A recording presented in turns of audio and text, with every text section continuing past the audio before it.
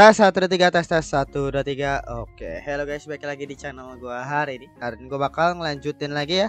Nonton anime yang berjudul Sumatsu Train episode ke-8 Kayak gitu.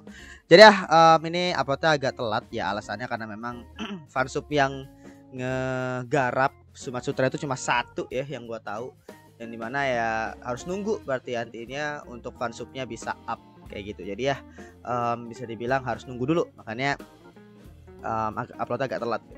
Jadi ya untuk um, episode kemarin itu ya full terkait dengan penyelesaian terkait dengan si mbak-mbak zombie itu ya si ratu zombie yang di mana dia itu masih dalam bentuk manusia ya yang di mana kemarin itu banyak sih hal hal-hal yang perlu dipertanyakan kayak dia itu salah satu itu satu-satunya orang yang nggak berubah nambah kayak semacam apa ya fakta bahwa kemungkinan kayaknya orang luar yang berada di luar kotanya dia itu gak bakal berubah sesuai dengan peraturan kota itu. Jadi kayak ke mana ada yang ngasih tahu terkait ada teorinya ya tiga macam kota dengan sistem yang berbeda-beda. Terus bagaimana akhirnya um, kemarin itu kayak mempengaruhi ke orang-orang yang datang maupun orang waktu pada saat kejadian 7G kayak gitu. Nah itu masih penting untuk kemungkinan Yoka nanti. Entah Yoka nanti bakal kayak gimana ya. Soal kalau diberitanya kan waktu itu dia masih hidup dengan aman gitu. Nah yang gue penasaran adalah apakah dia terpengaruh sama kota Ikibukuro atau tidak. Itu sih sebenarnya yang jadi pertanyaan gitu ya. Jadi uh, langsung aja kita mulai untuk episode ke-8 dari Sumatsu Trade. Oke, episode 8 kita mulai saja. 1 2 3 Oke, batu-batu gini ya. Oh, si Nadeko yang ngejalanin. Ini batu-batu apaan? Higashi Kurume. Oke. Okay. Gua nggak tahu udah udah ke stasiun yang keberapa ya.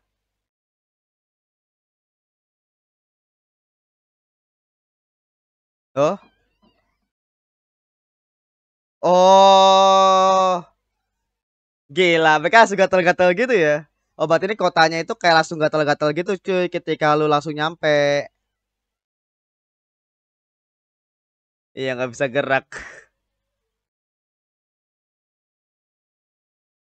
Gila. Jadi intinya kotanya itu nyebabin lu itu gatel-gatel ya. Oh mungkin kayak semut gitu kali ya. Maka tadi ada batu-batu numpuk gitu kayak kayak semut atau kutu gua nggak tahu sih. Tapi ya nggak tahu deh hubungannya apa ya. Oke, ini kota kayak apartemen gitu ya apa nih istilahnya sistem apa yang bakal nyebabin ke mereka nih? Artinya kan ini membuktikan nih bahwa setiap kota itu bisa berpengaruh ke orang gitu nih. Kenapa? Oke. Okay. aku tuh oke okay. oh, oke okay, itu. Oh udah kayak something itu ya. Oh mereka juga punya oh what the hell Yoka ya. Ah, oke okay, oke okay, oke okay, oke oke. Nanti kita bakal bahas tuh ya. Jadi kan kita uh, sama sekali nggak tahu terkait dengan pendalaman karakternya mereka berempat ya. Dan tadi agak dispel sedikit tuh terkait dengan kayak uh, kota tadi tuh ya yang penuh apartemen itu. Kayaknya itu kayak semacam kota yang nyebabin lu itu agak apa mengingat kenangan buruk lah. Mengingat kenangan buruk yang akhirnya nyebabin ya lu tadi kayak akhirnya keinget dan akhirnya lu tadi minta maaf langsung gitu. Nah itu akhirnya tadi uh, apa memperlihatkan tuh ya terkait dengan masa lalu gelapnya mereka. Di mana Nadeko itu kayak bilang tadi dia tuh cuma bisa ngelihat doang kita nggak tahu apa tuh ya. Terus eh Nadeko sorry si Akira terus si Reimi dia itu kayaknya something kayak dia tuh ngebunuh hewan atau apa nggak tahu tuh. Terus si Nadeko itu kayaknya dia tuh keluarga broken home dan bapaknya pergi jadi orang tua itu sering berantem. Nah, kalau si uh, siapa? Si si Zuku kan ya udah bilang udah uh, si Zuru kan udah udah jelas ya terkait dengan Yoka. Nanti, nanti gue bakal lihat lagi deh uh, apa tadi yang frame-frame yang cutnya cepet tadi ya. Gatan goton, gatan goton, gatan goton, gatan goton.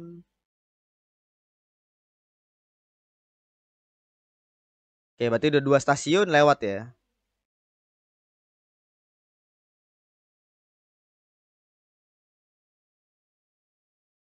Neriali. Oh, Izumi Gakuen.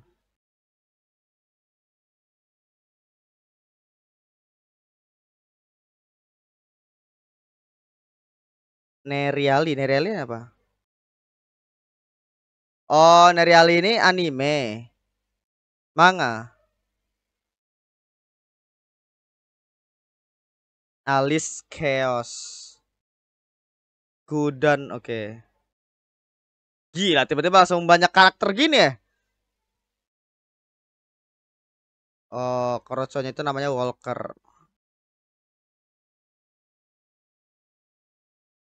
Oke. Ini anime cuy. Jadi kota apa akademi apa namanya? Oizumi itu dia itu berubah jadi dunia anime. Jadi mana MC-nya Alice, tadi lawannya Chaos.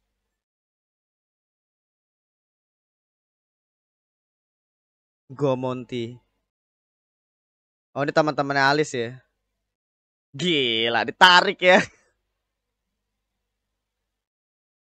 Oh. Mereka nonton juga ya. Shu-chan.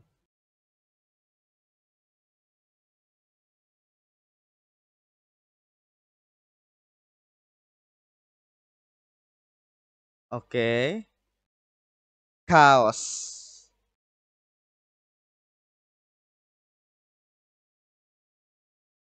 Habisnya sulit disebut.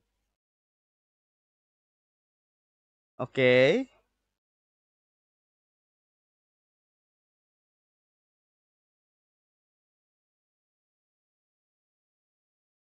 Papan Shogi.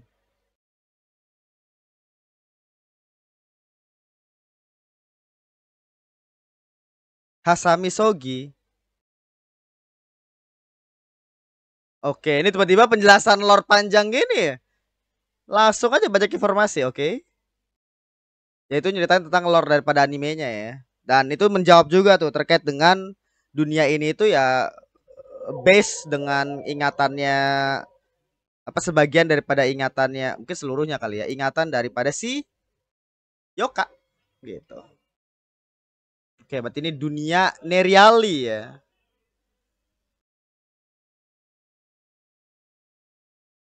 Gila jualan. Ini Walker ya tadi ya.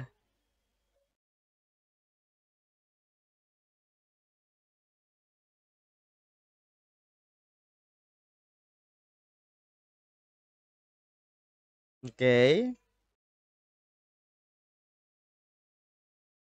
Kemenangan chaos. Oh, ini menang chaosnya.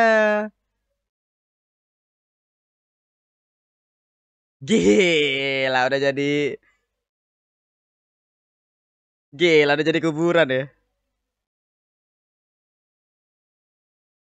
Perayaan kematian. Gunjin Sogi. Oh, berarti di counter. Gila jadi lampu cuy. Ini orang Uraizumi itu maksudnya orang-orangnya si Alice dan kawan-kawan ya.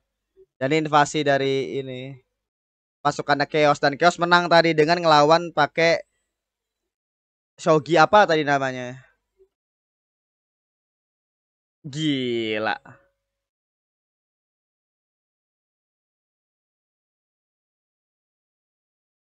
Dia berhasil kabur. Oh, si cewek yang Shu, Shu. Oke, berarti Show masih kabur ya. Tapi gak tau juga sih mereka benar dead atau enggak ya.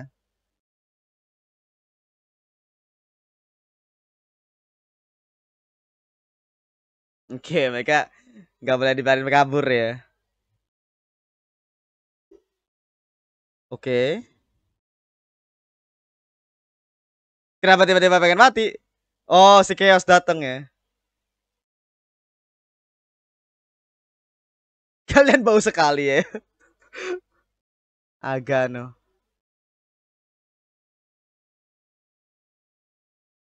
ada orang merepotkan bilang oke okay, jangan. Oh siapa? Jadi ada orang yang nggak boleh ngebilain orang apa nge, ngebiarin orang lewat gitu. Gila. Gila ini kayak vibes ini. Dikejar-kejar zo uh, kayak zombie Dark Nerima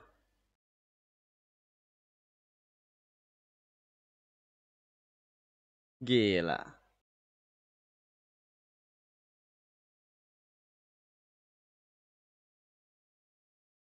Oh, ternyata ini orang-orang ini. Cuma sembunyi ya. Ini orang-orang apa namanya? Orang-orang orang-orang Izumi, Ura Izumi.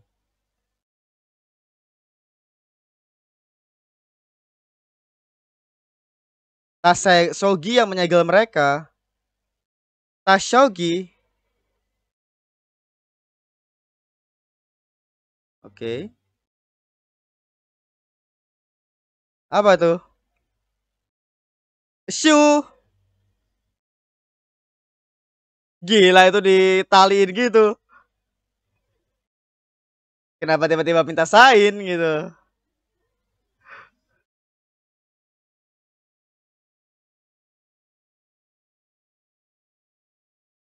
Oh ini bener-bener ini jadi bener mereka tuh bener-bener jadi berubah jadi karakter cuy.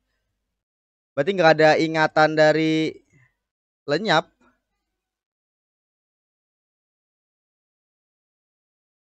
Gunji.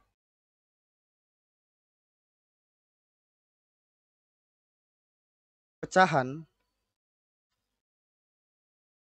Oh, jadi karakter-karakternya ah, jadi kata-kata itu dipecah gitu loh. Maka dipecah jadi berbagian.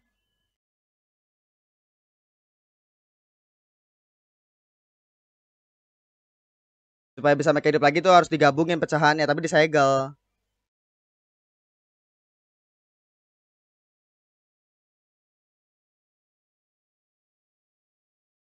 Kudan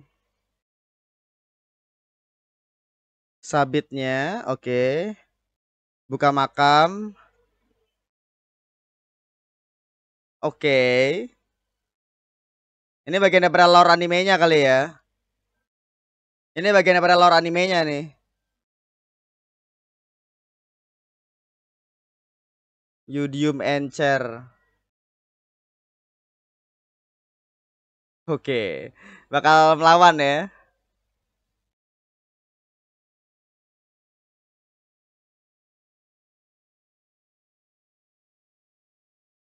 Busa siaga dong. Ya. Santai sekali ya.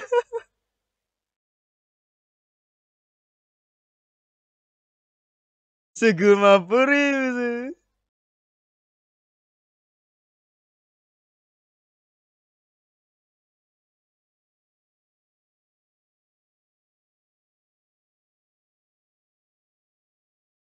Gila.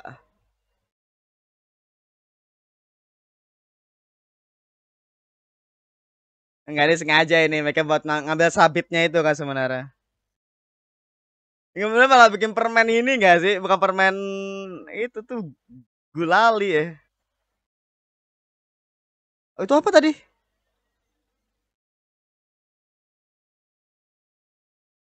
Oh, diganti pakai papan itu.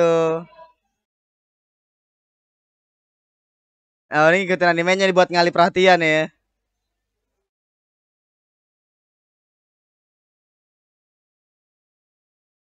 Gila dibelah coy.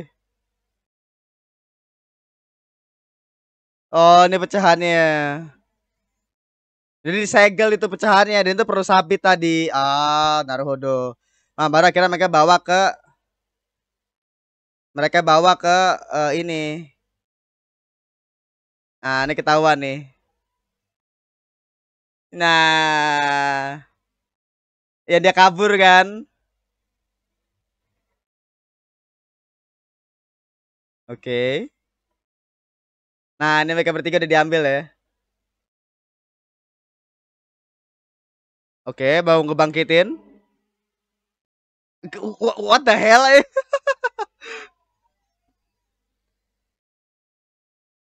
oh itu kayak ini cuy, kayak permen yang bisa Nah itu kayak permen bisa meledak gitu loh.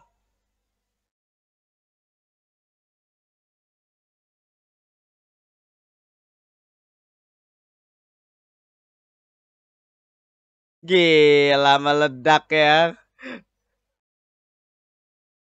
Oh, ini ternyata ini cuy. Terpengaruh, eh, tetap tetap terpengaruh ini. Jangan ditarik dong makin dead ya.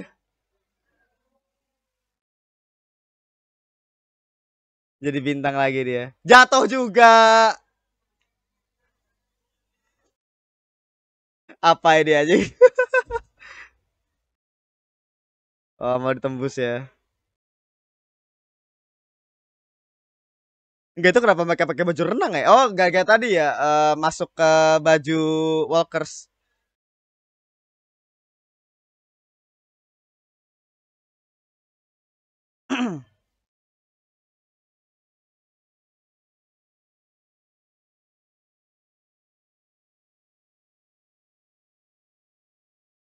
Gila, jadi sini uh, Alis dan kawan-kawan itu udah dead ya karena mereka salah bawa air suci.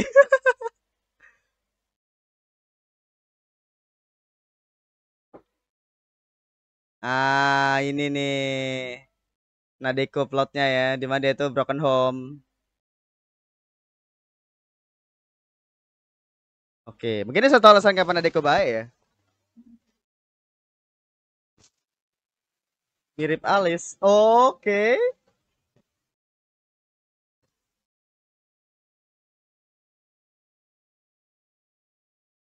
Oh, dia mau berperan sebagai Alice. Oke.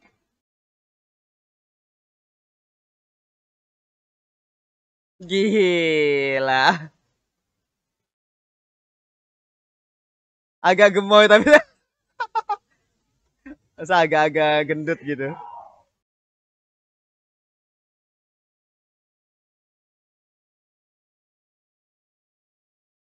Keshi Gomonti Shuchan cosplay iya sih enggak pakai dapat baju dari mana gitu loh bajunya si Alis dan kawan-kawan ya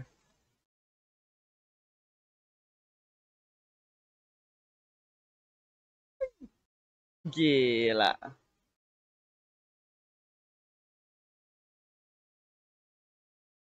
Jus jahe.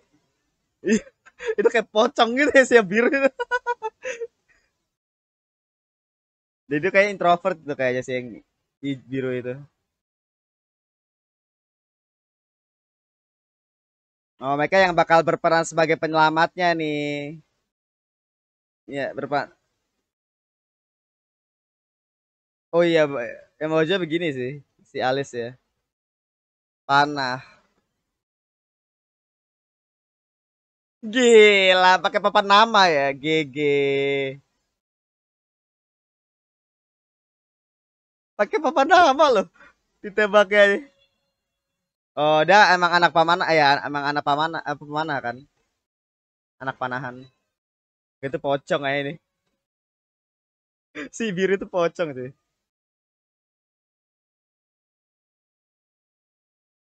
Bukan Gunji Sogi.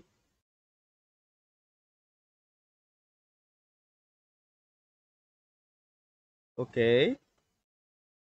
Wow, asam. Gila.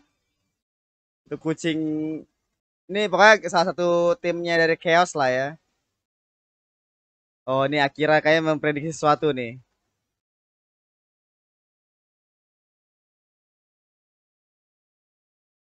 Ah.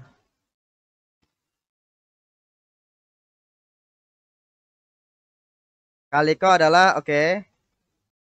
Kaliko itu yang dia ya, yang kucing. Gak bisa mundur dia, makanya gila.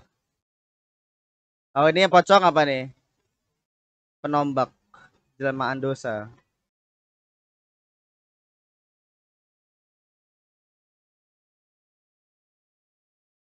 Jenderal Perak. Kelemahannya di bagian belakang. Oh, dia nyerang belakangnya ya. Nah, ini kayaknya emang harus Oh, jadi mereka itu kesegel ke kuburan ya, Cok? Tuh. Jadi tanya, oh, jadi dia kayak gitu. Jadi ketika oh ini konsepnya menarik sih. Jadi kayak mereka itu dead nanti bakal bakal berubah jadi kuburan. Tuh, kayak kayak hanya waktu pas Alis dan kawan-kawan ketika mereka kalah, mereka bakal jadi kuburan kan. Tapi mereka itu bukan jadi kuburan, sorry, bakal jadi bintang. Nah itu bisa dibangkitin lagi tapi nah kalau para Chaos dan kawan-kawan ini mereka jadi domino ya. jadi domino gitu eh.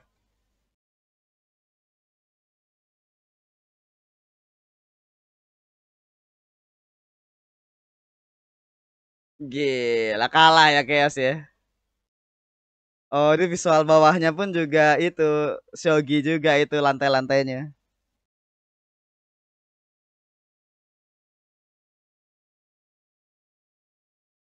Tuh shogi.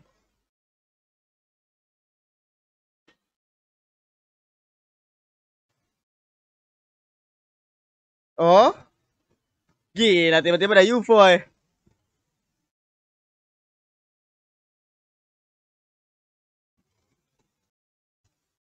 Ah, Putri Yoka, Putri Yoka Hime. Oke. Okay. Berarti Yoka itu put ratunya atau putri? Majo Yuka, nah ya. Ya udah jelas Yoka sih ya. Berarti dia terpengaruh sama sistem di Kebokuro cuy. Mungkin karena di pusat kali ya.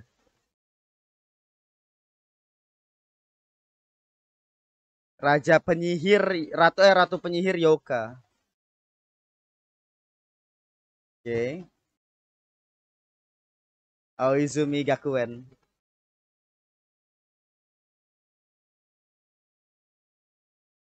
Iya, kita bakal pergi.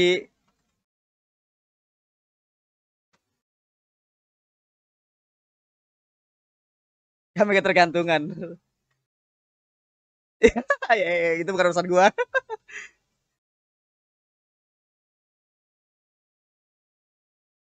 Iya, dikejar ya. Mereka bakal ngikuti sampai ke Bukuro.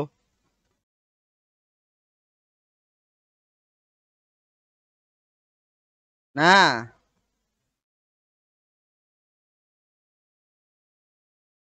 memperburuk negeri itu. Mengacau dunia. Ah, bisa jadi kayak tadi bilang ada orang yang menghalangi mereka untuk pergi ke Ikebukuro kan?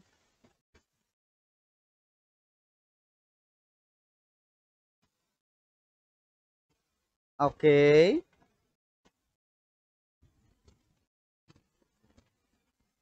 Yang paling bikin penasaran? Yoka ya maksudnya. Iya. Yoka jadi ratu. Maju. Oke. Okay. Ini episode layaknya Storm gitu ya. Episode itu belum kayak berasa jedar jeder bar bler blar bler ya. Ya menurut gue ya ini plus minus sih. Nanti kita bakal bahas. Menurut gue bahkan lebih parah dibandingkan yang episode yang Remy jadi King Kong tuh, yang episode yang orang kecil, yang episode keduanya. Kayak gue waktu itu bilang kan bahwa episode itu tuh um, apa? Terlalu flow-nya itu kayak terlalu cepet gitu penceritaannya. Ini lebih parah sih. Kayak ini bisa dua episode tapi dijadiin dipaksa jadi satu episode. Sayang banget. Tapi ya baik lagi, emang mungkin mereka pengen nge-speed run ya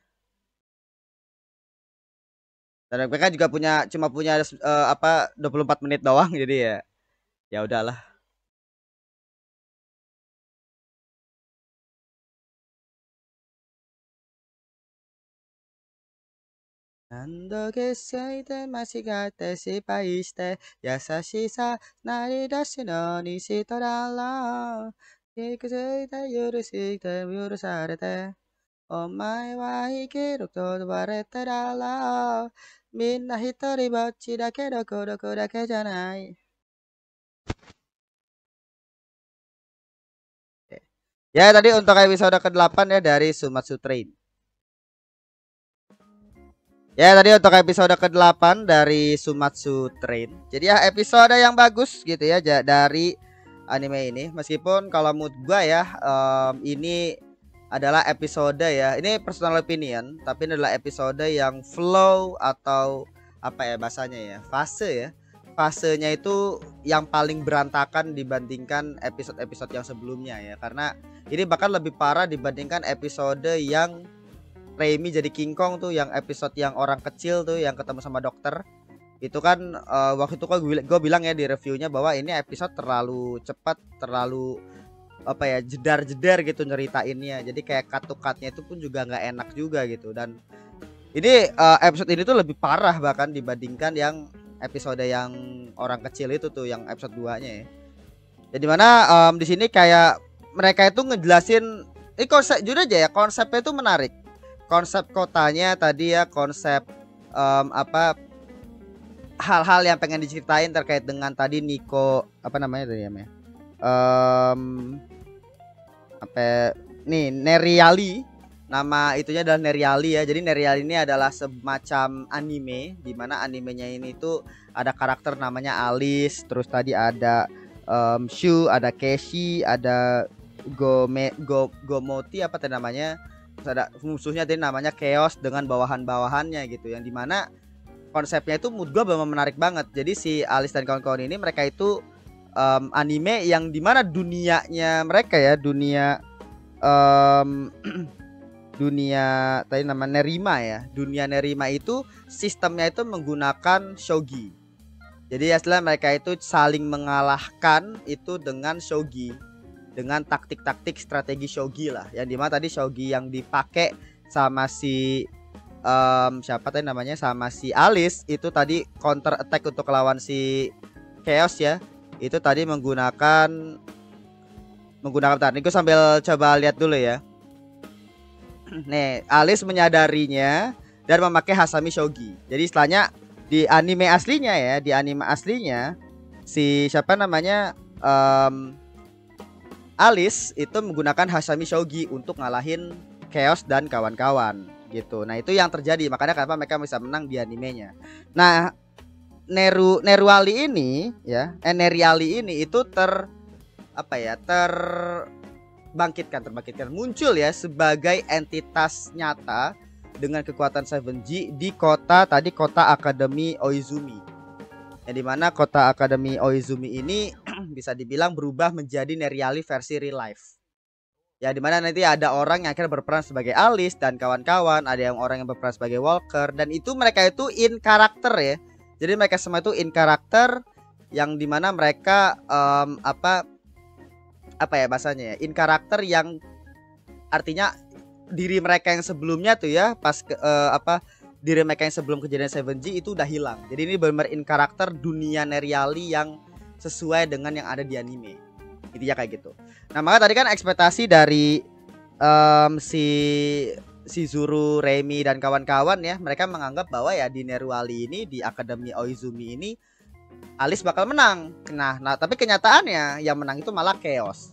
Jadi mana ternyata di kota itu ya ternyata si Chaos ini itu mengcounter uh, Hasami Shogi itu taktiknya Hasami Shogi itu dengan menggunakan Gunji Shogi. Eh, mana gua nggak tahu ya tentang shogi shogian, tapi yang jelas mungkin kalau yang tahu atau ngerti bisa komentar aja dan uh, mungkin biar lebih jelas gitu ya. Cuma kalau gua sih nangkepnya kayak gitu. Jadi Hasami Shogi itu di counter pakai Gunji Shogi. Ya di mana akhirnya tuh nyebabin Chaos menang ya intinya kayak gitulah. Nah akhirnya tadi si siapa namanya si um, si, Ru, si Zuru dan kawan-kawan mereka itu berusaha untuk ya mereka kabur lah ya. Kadang kan memang um, apa mereka tadi kayak Bruce pengen ke Ikebukuro terus akhirnya kata si Chaos tadi sama orang-orang di sekitarnya bilang bahwa jangan berani-berani lu mau mati dia bilang kayak gitu Jadi mana artinya mereka itu menghalangi orang yang menuju ke Ikebukuro. Nah, ini akhirnya tadi menjadi salah satu misteri juga yang kita bakal bahas ya. Intinya adalah Chaos dan kawan-kawan itu mereka itu sepertinya disuruh sama seseorang ya di mana um, mereka itu disuruh untuk tidak memperbolehkan siapa pun datang ke Ikebukuro. Nah ini jadi pertanyaan, why? Ya, uh, who dan why? Siapa dan kenapa gitu? Kenapa nggak boleh pergi ke, ke Ikebukuro? Apakah ada rencana di sana gitu ya? Atau ternyata di sana itu ada ratu penyihir dan ini akhirnya menjadi satu pertanyaan juga gitu kan? Intinya um, seperti itu si Chaos ini kenapa dia bisa ngalahin Alice itu karena orang ini. Jadi ada orang yang akhirnya datang ke sana ya, datang ke tempat ini yang di mana eh, dia yang ngasih tahu terkait dengan bagaimana cara ngalahin Alice dengan menggunakan Gunji Shogi. Makanya akhirnya tadi si Chaos bisa menang di kota ini gitu. Itu karena ada arahan dari orang ini nih yang akhirnya juga meminta Chaos dan kawan-kawan untuk tidak memperbolehkan orang datang ke Ikebukuro. Nah itu gua nggak tahu tuh maksudnya adalah apakah um, apa tadi kalau dari kita lihat sih katanya itu adalah dari ratu penyihir tadi yaitu adalah si Yoka. Berarti artinya Yoka kah yang nyuruh mereka untuk tidak datang ke Ikebukuro atau mungkin ada orang lain gitu yang nggak boleh yang tidak memperbolehkan atau tidak memperbolehkan mereka gitu ya. Atau kayak gimana? Nah ini yang jadi pertanyaan.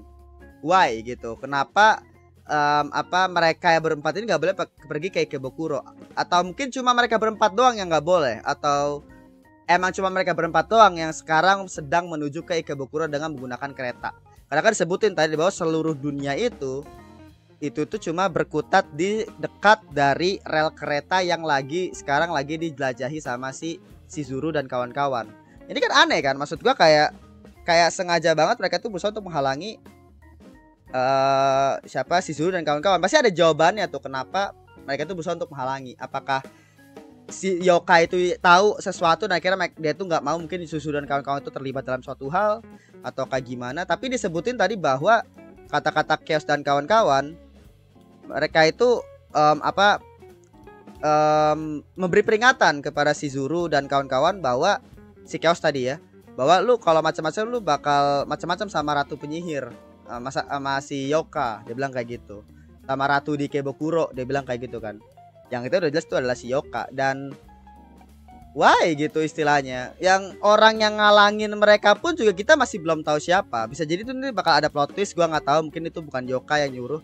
Tapi mereka sendiri bilang bahwa ah, atau mungkin emang Yoka gua nggak tahu ya. Soalnya orang itu kayak datang ke sana untuk ngasih tahu mereka ini.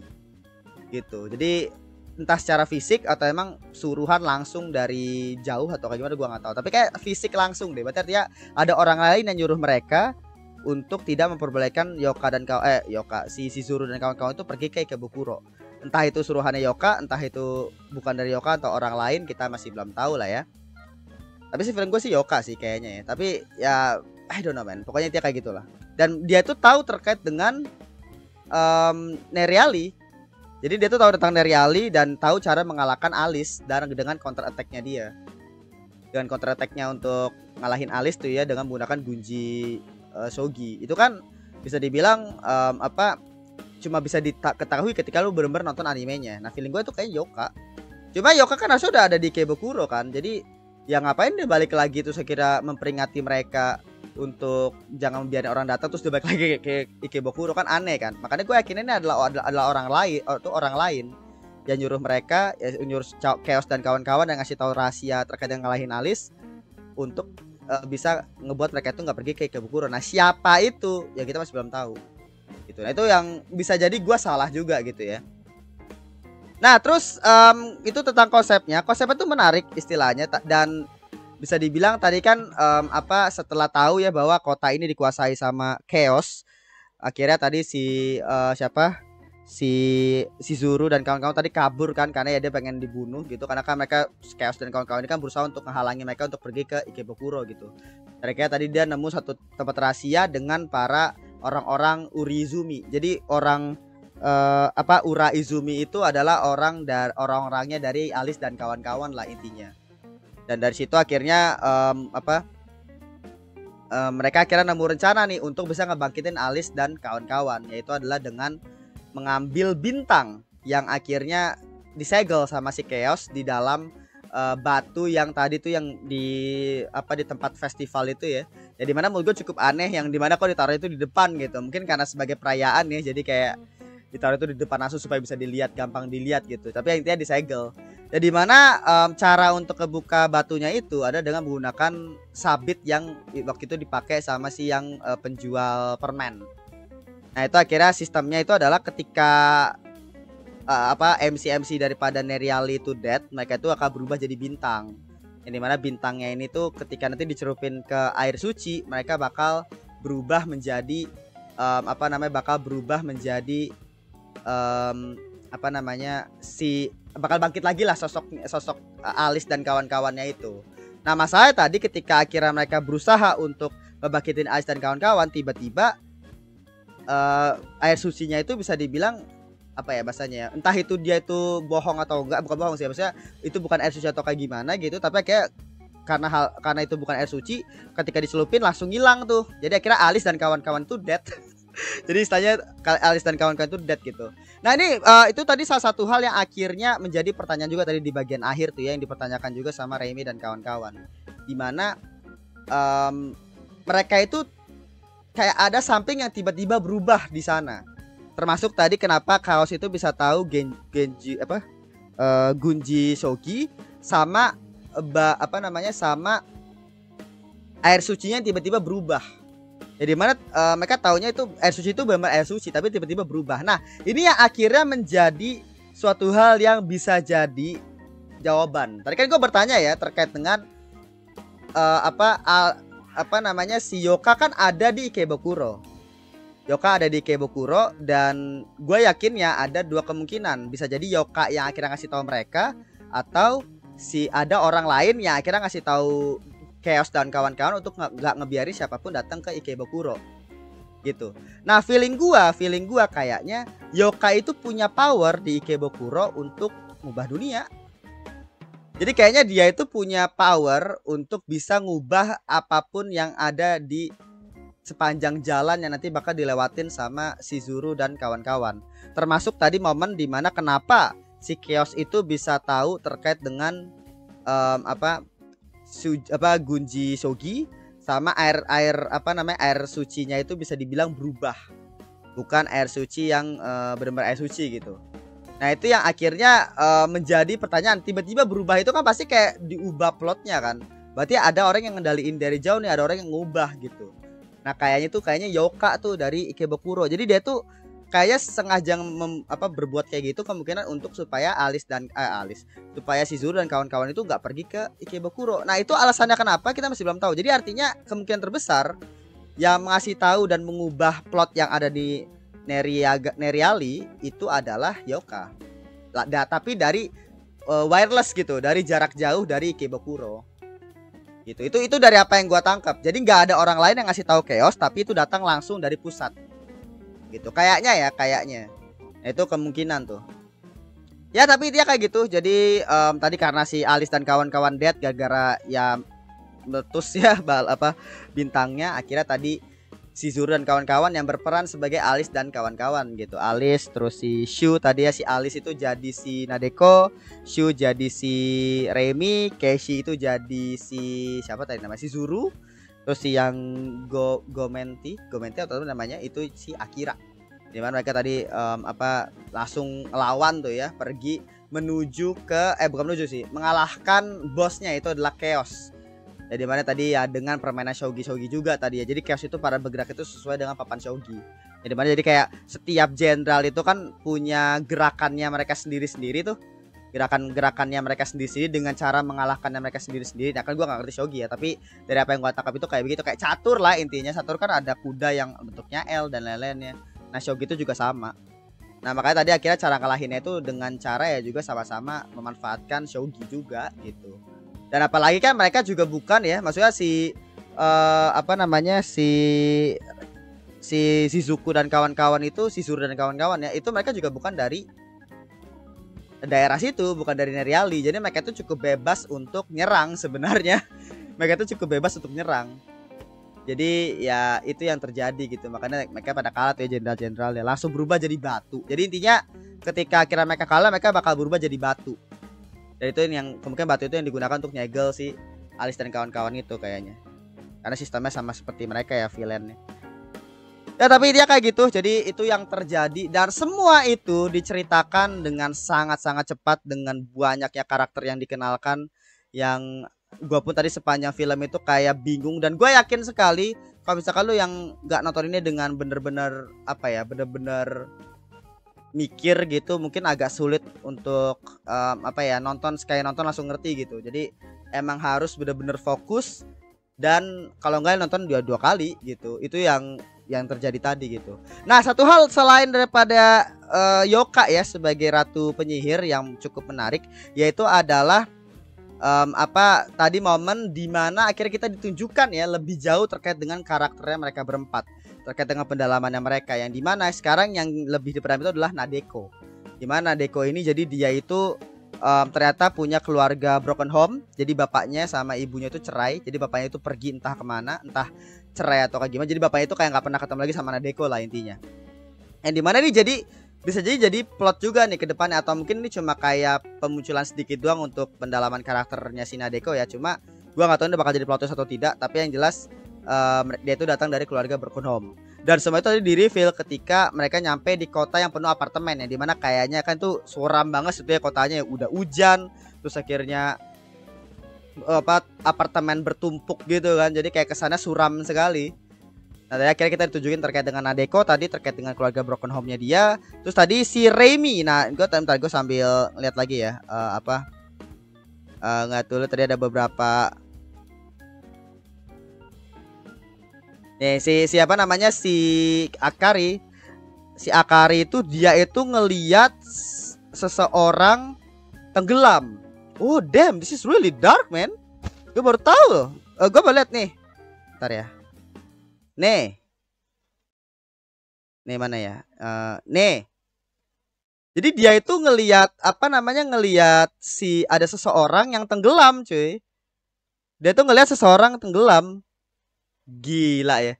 Jadi kayak apa um, bener-bener ini banget bener-bener dark sekali. Jadi masa lalu ter tergelapnya Nadeko eh Nadeko kok Nadeko sih? Akira dia tuh ngelihat orang tenggelam dan dia tuh nyesel karena dia tuh cuma bisa ngelihat doang. Nah ini terkait dengan si Akira. Nah tuh si si Remy dia tuh dia itu kayaknya nggak sengaja ngebunuh hewan ini feeling gua. Gua nggak tahu nih ya. Nih uh, apa gambarnya nih ya. tuh dia tuh kayak nggak sengaja ngebunuh hewan gitu loh. Tuh. Jadi tuh nggak sengaja ngebunuh hewan gitu. Nggak sengaja ngebunuh hewan dan ya itu yang terjadi ya. Nah untuk kasusnya Nadeko sama tadi eh, Nadeko kita udah ngeliat ya yaitu adalah dia tuh kena broken home Ya tapi um, intinya kayak gitu. Jadi bisa dibilang akhirnya kita lebih dalam tadi ya mengetahui terkait dengan pendalaman karakter mereka. Jadi apa pengalaman tergelapnya daripada Akira itu adalah dia itu ngelihat orang tenggelam. Terus yang kedua itu Remy dia tuh ngelihat eh bukan ngeliat sih dia tuh kayak nggak sengaja ngebunuh anjing atau apa gua nggak tahu tuh ya pokoknya ngebunuh seseorang. Oh sama tadi anjingnya tuh ya si siapa namanya? Si anjingnya itu tadi si uh, Pochi si Poci itu dia itu tadi nggak sengaja tenggelam juga. Mana tadi ya? Ntar gue sambil putar dulu. Nih si Poci mukanya pun sampai kayak begini gitu. Nah nih. Oh sorry bukan tenggelam. Dia ini cuy kayak disiram gitu. Jadi kayak dia tuh dari di kandang terus dia tuh kayak disiram. Disiram pakai air. Oh damn. Oke. Okay. Gila, nasib mereka cukup dark sekali ya. Tapi cuma si apa? Cuma si ini doang loh, cuma si uh, siapa si Zuko doang yang aman damai anjing masa lalunya. Bentar ya. Jadi uh, si Zuko ini dia tuh masalahnya itu ya berhubungan sama Yoka.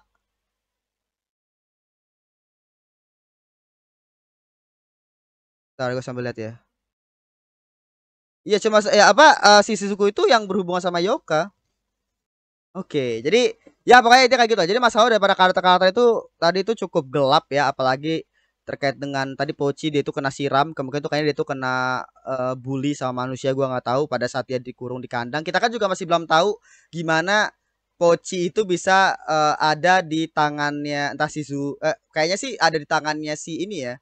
Si siapa namanya?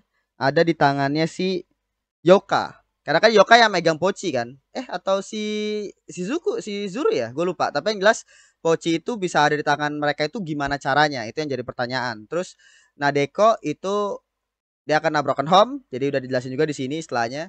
Dan dia tuh agak menyesal karena ya dia nggak melerai mereka berdua makanya akhirnya dia tadi rasa penyesalan itu kayak gitu nah terus yang ke itu si Remy dia tuh mungkin gak sengaja ngebunuh hewan atau nggak sengaja ngebunuh kalau seseorang gua nggak mungkin kayak, kayaknya nggak mungkin seseorang karena dia masih bocil tadi feeling gue itu kayak dia tuh nggak sengaja ngebunuh hewan itu terus saya kira tadi si Akira itu ngelihat orang tenggelam Nah kayaknya nih ya kayaknya kayaknya ke depannya mereka bakal menelusuri terkait dengan trauma daripada karakter-karakter ini. Ini feeling gua doang ya feeling gue kayak mereka bakal mengekspor lebih jauh trauma-trauma mereka. Di episode ini kita diperlihatin terkait dengan Nadeko dengan dia punya uh, trauma broken home. Ya. Nah, episode berikutnya kemungkinan kita bakal punya konsep unik lagi tapi dengan adanya penceritaan daripada masing-masing karakternya yang traumatis itu mungkin.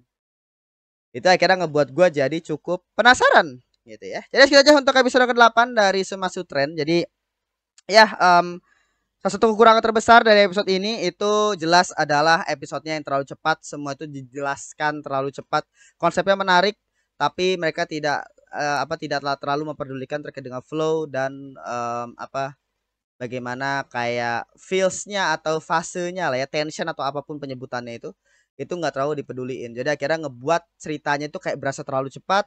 Katu-katnya tuh benar-benar berasa nggak enak dan akhirnya ya kalau misalkan lu nontonnya itu cuma untuk nonton storynya aja atau tahu storynya aja sebenarnya nggak masalah mungkin ya. Cuma kalau bagi gue kan gue pengen berusaha untuk menikmati bagaimana cara mereka itu menceritakan ke kita gitu ya sebagai penonton. Dan itu mood gue sangat-sangat kurang sekali gitu. Mood gue yang masih paling bagus bagaimana cara mereka itu nyeritain cerita itu waktu pada saat mereka di kota Jamur. Yang waktu pada saat mereka di kota Jamur tuh yang ngebangun tensionnya dengan musik dengan suasana tegang horor uh, thriller gitu kan di mana di sini kayak ada something wrong di kota ini. Itu bagus banget. Jadi mood gua masih menang di kota jamur untuk bagaimana mereka ngebangun flow tension dan apa atau apa pun itu penyebutannya ya. Tapi ke belakangnya ke episode episode berikutnya itu mood gua agak terlalu apa cepat. Mereka pengen nyeritain konsepnya atau lore-nya itu dengan cepat semuanya dijelaskan. Setidaknya pengen diceritain aja gitu dan udah. Jadi kayak nggak nggak ada bagaimana cara mereka itu menceritakan dengan baiknya itu nggak ada gitu cuma diceritain di Blair gitu itu yang tadi gua rasain sih ya tapi ya overall kok karena konsepnya menarik karena ceritanya oke okay, dan banyak pertanyaan jadi ya kira oke oke aja lah jadi sekian aja untuk episode ke-8 dari Semua Sutran. Kalau misalnya ada yang salah atau lu punya teori atau kayak gimana, bisa komentar aja di bawah kayak gitu. Jadi sudah terima kasih. Jangan lupa untuk di like, comment, subscribe. Dan nyalakan juga notifikasi. Oke, sampai jumpa di episode berikutnya episode ke 9 kayak gitu. Oke, segitu aja. Terima kasih.